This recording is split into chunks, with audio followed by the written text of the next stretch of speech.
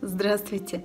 А, в этом видео э, сообщении я хочу ответить на некоторые вопросы, которые мне задали. Первый вопрос. На ваш взгляд, чем образ Маши Мироновой 2019 года отличается от предыдущих воплощений 1983 и 1999 года? А, второй вопрос. Что вам особенно ценится в этой личности? И третий вопрос. Как бы вы спроецировали этот типаж на наших современников? В ком выделяются эти черты? Ну, знаете, вот время, оно всегда а, расставляет свои акценты. И наш спектакль – это новое прочтение – новый ответ времени, в котором мы живем. Но неизменным остается всегда главное – это беречь честь с молоду.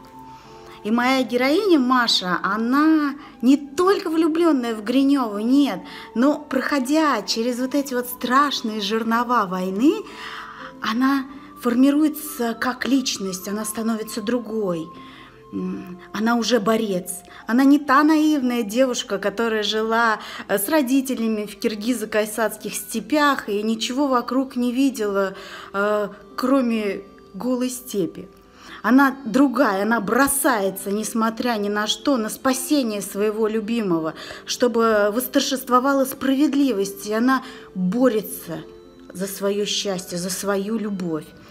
Э, я думаю, что честь и достоинство является основополагающим в жизни каждого человека. И так было во все времена, и так будет всегда. Поэтому наша молодежь, она должна помнить уже с раннего возраста, что нужно беречь честь с молоду. Вот об этом наш спектакль. Спасибо.